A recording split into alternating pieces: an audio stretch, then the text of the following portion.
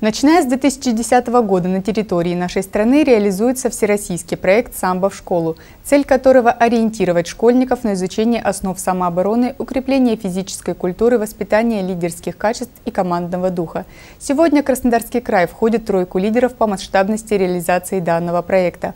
Уроки самбо проводятся в более 350 учебных учреждениях региона, в том числе и в школах Славянского района.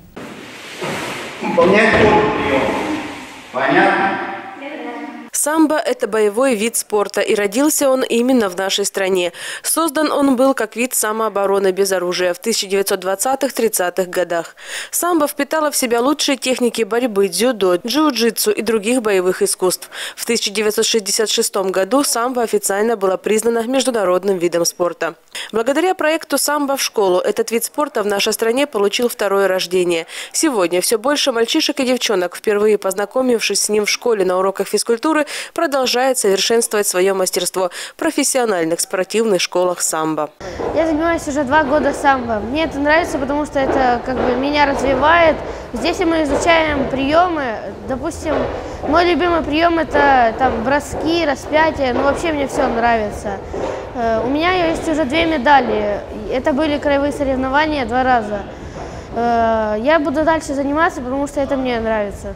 Свое знакомство с самбо Захар Смола начал именно на уроках физкультуры. Его школа стала участником всероссийского проекта. Для занятий был получен борцовский ковер, а учитель физкультуры прошел специальную переподготовку. И вот уже почти два года учащиеся седьмой школы постигают азы самообороны без оружия. Самбо переводится как «самооборона без оружия». Детям это понадобится как в повседневной жизни, ребятам, мальчикам, как мужчинам это особенно нужно для защиты себя, для своих близких.